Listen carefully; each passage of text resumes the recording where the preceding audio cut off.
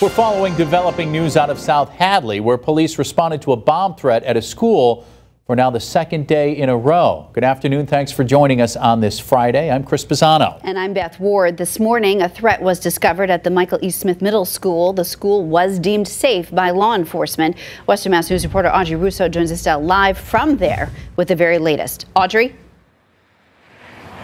Three law enforcement agencies were on scene today here at the middle school as the bomb threat was being investigated. Now, this comes one day after the very same thing evacuated the South Hadley High School.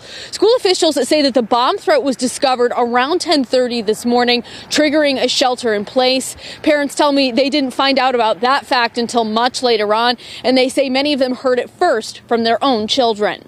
It's definitely something that you don't want to see happen. South Hadley's Michael E. Smith Middle School put under a shelter in place Friday morning after school officials say a bomb threat was discovered around 10:30. According to a robocall sent out to parents from the school, a quote written bomb threat was reported to administration at the middle school. Police and fire department officials responded quickly and determined it was a low-level threat. Does hearing low-level bomb threat make you feel better? Not really. Not when I have my daughter hysterically crying from a school. Absolutely not.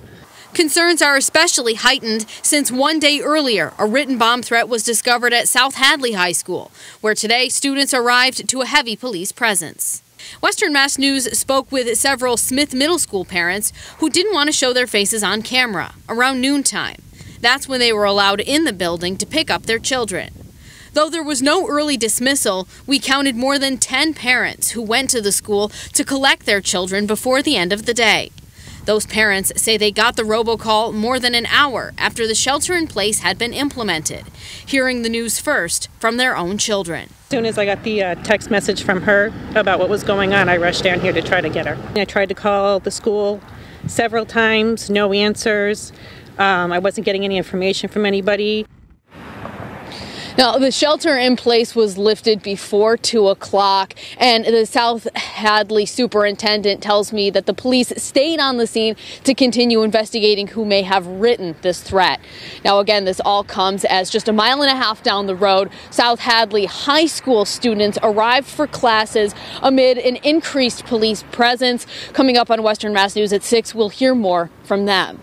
Live in South Hadley, Audrey Russo for Western Mass News.